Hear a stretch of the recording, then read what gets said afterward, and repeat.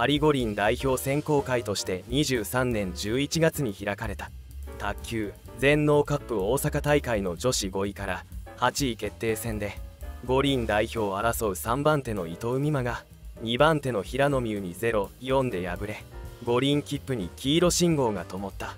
このニュースは卓球王国中国でも話題になり驚きの声が上がった。中国メディアは伊藤美誠敗れる。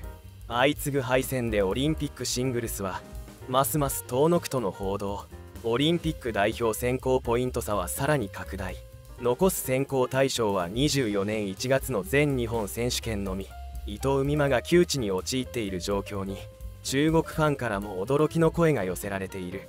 これまで中国勢と互角に渡り合う試合も多く中国で大魔王のニックネームが付けられたこともある。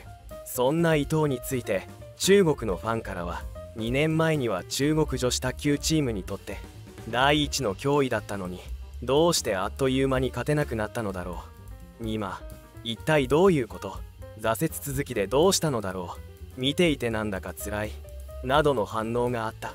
さらに平野は国際試合で不安定だと思う。やはり伊藤が安定している。伊藤は中国選手との試合ではなかなか面白い。早田や平野よりもはるかに好感が持てる。調子を戻してまた中国選手に立ち向かってほしい。と復調を期待する声もあった。伊藤は26日に行われた順位決定戦で勝って7位を確定させたことで次の試合に敗れて6位となった平野とのポイント差拡大は10ポイントとなんとか最小限にとどめていた。それにしても中国のファンから同情のような声が出てくるとは伊藤が憎たらしい。中国が金メダル取れなくなるので伊藤には五輪に出てほしくないというような伊藤には中国にとって怖い存在でいてほしい。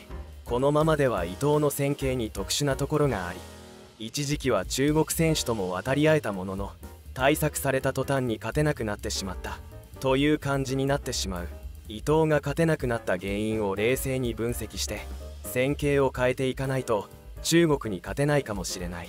そのためには現実を受け止め気持ちを立て直してほしい。日本の卓球界に名を残す。シングルスではないが東京五輪金メダリストでありなんとか復調してほしい。伊藤美誠選手頑張ってください。伊藤美誠に幸あれ。あなたはどう思いましたか？コメント欄で話し合えたら嬉しいです。